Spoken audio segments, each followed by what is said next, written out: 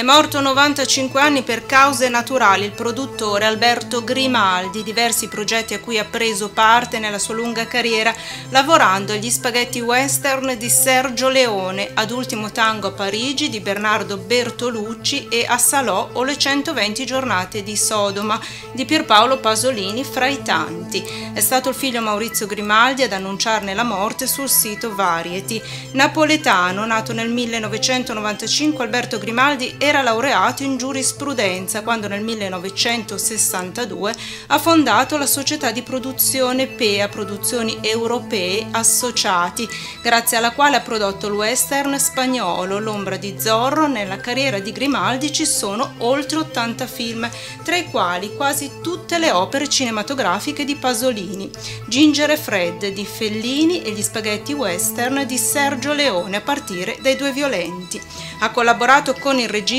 alla coproduzione internazionale di Per qualche dollaro in più di Clint Eastwood e l'anno dopo hanno lavorato insieme a Il buono, il brutto e il cattivo.